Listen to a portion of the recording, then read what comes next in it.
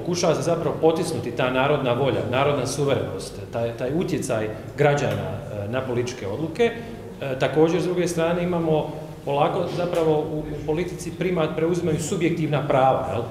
E, I, i, I na neki način gubi se taj demokratski segment, dedemokratizira se naša demokracija, a upravo na neki način referendum i općenito sudjelovanje građana u, političkom odlučivanju je ono što čini našu demokraciju, demokratskom, što, demokratizira našu demokraciju i zbog toga ja mislim da je, nužno da, građani, sudjeluju u odlučivanju i putem, referenduma, a kažem, nažalost postoji ta jedna negativna tendencija da se sve više građane istiskuje iz, iz političkog odlučivanja i kao što vidimo posljedicu, nakon što smo imali ovako jednu uspješnu pučku inicijativu i referendum o braku, nakon toga od sljedećih deset godina nema referenduma, što nije slučajno, jer se upravo se zapravo na taj način pokušava ograničiti i osujetiti to e, e, ostvarivanje jeli, bolje naroda, suverenosti naroda, koja je jednostavno nezaobilazna u liberalnoj demokraciji. Hvala.